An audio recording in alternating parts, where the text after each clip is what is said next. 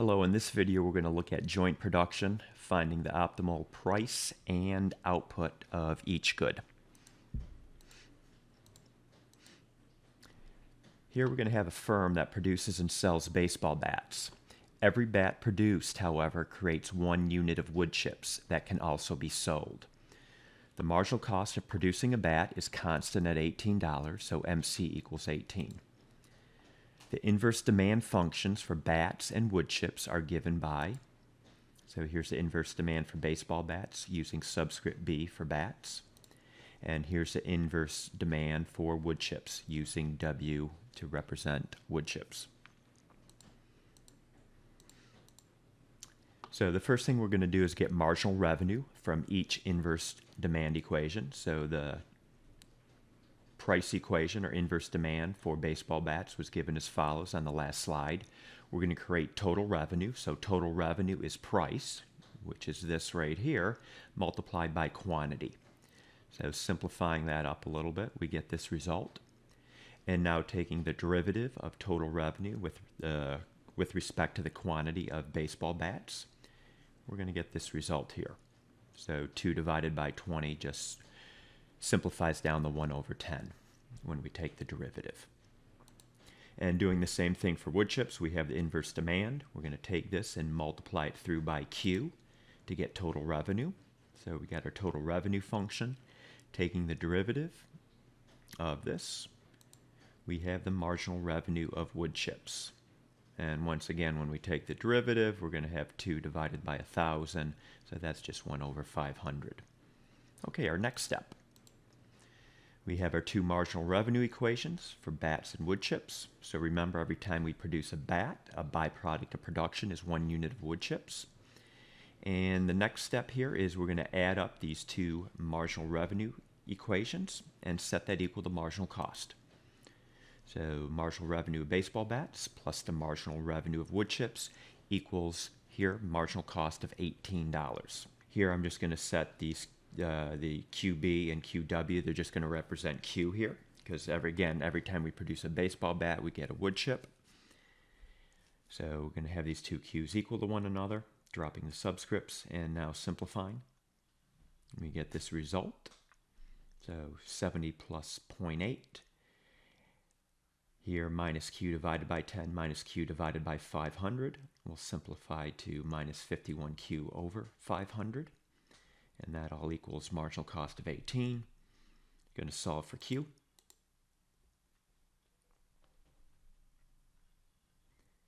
And one more step here. We get q equals 517.65. So after we do that, we're going to evaluate each marginal revenue equation at Q equals 517.65. So for baseball bats, if we were to produce 517, 508, say 518 baseball bats, marginal revenue would be positive. Okay, and that's fine. We put this 517 or 517.65 for wood chips in the marginal revenue equation. So evaluate marginal revenue at this Q value here, and we get a negative. This is a problem. When one of the marginal revenues is negative at this Q level of output, we need to do the following. We should sell the number of wood chips up to the point where marginal revenue equals zero. So setting the wood chip marginal revenue equation equal to zero and solving for Q subscript W, the firm should only sell 400 wood chips. They might actually in the end be producing more wood chips, but they only want to sell 400. And the price we're going to sell those wood chips at, just plugging this 400 back into the inverse demand for wood chips, we're going to sell a unit of wood chips at 40 cents each.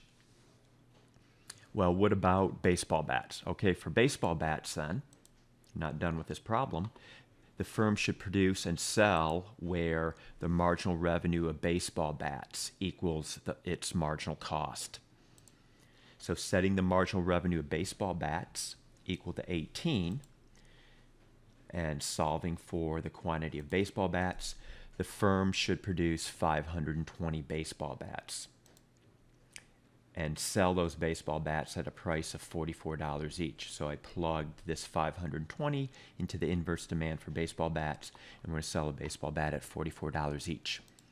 So to note here, the firm will produce 520 baseball bats and 520 units of wood chips. However, the firm will only sell 400 units of wood chips. That's where the marginal revenue equals zero, but will sell all 520 baseball bats in order to maximize profit.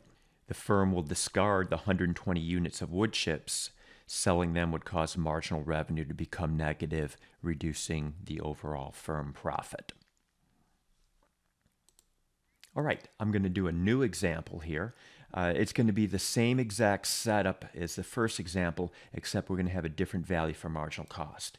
So here we're going to assume that the marginal cost is going to be 40.2. Every time we produce a baseball bat, the marginal cost is going to be a little over $40. And it's going to be constant. So we're going to proceed like we did before. We're going to add up the two marginal revenues and set it equal to marginal cost. Okay, so just simplifying this now, again, i am going to drop the subscripts on the Q terms and just adding up these Q terms here. We'll get this result. Solving for Q. Q will equal 300. As before, I'm going to take this 300 and I will evaluate each marginal revenue equation separately.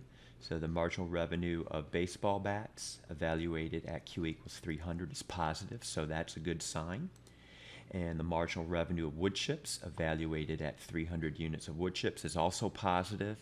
So in this case, we are going to produce 300 baseball bats, and a byproduct of that will be 300 units of wood chips. So marginal revenue for each product is positive at 300 bats and 300 units of wood chips. The firm will produce and sell 300 bats and 300 units of wood chips. So this example is a little bit simpler than a first example. In terms of the price, uh, the price of wood chips evaluated at 300 units. We're going to sell a unit of wood chips at 50 cents. And then plugging 300 into the inverse demand for baseball bats. Baseball bats in this example will sell at $55 each. So let's do a recap. We're going to add up the two marginal revenue equations and set them equal to marginal cost, and we're going to solve for Q. We're going to plug Q back into both marginal revenue equations. As we saw in the first example, if one of the marginal revenue equations is less than zero, is negative at this value of Q, say marginal revenue uh, for good A, we're going to set the marginal revenue for good A equal to zero and solve for Q subscript A. And that's the maximum number of units that we'll sell of this QA good. Then for the other good, we're going to set marginal revenue equal to marginal cost and solve for Q subscript B. You'll note here that Q subscript B will exceed Q subscript A. So like in our first example, we sold more baseball bats and wood chips. In our last example, which is the, the simpler of the two cases, we get this value for Q.